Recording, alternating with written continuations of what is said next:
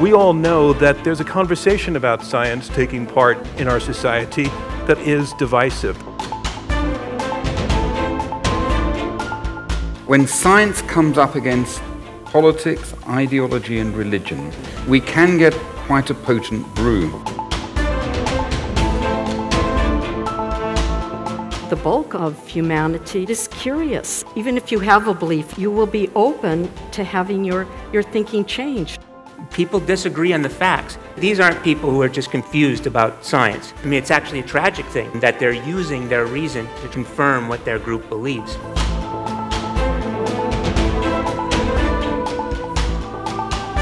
Scientists are the most skeptical people around, and yet there is a line that's out there in the public that somehow they'll defend a perspective to the death. No, we try to kill it every step of the way. That's the ability of science to self correct. That's the beauty of it all.